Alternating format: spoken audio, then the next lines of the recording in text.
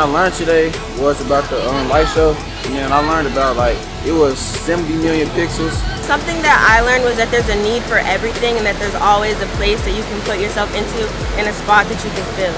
Thank you Project 16 and 1-800 Truck Wreck. Thank you Project 16 and thank you 1-800 Truck Wreck. Thank you.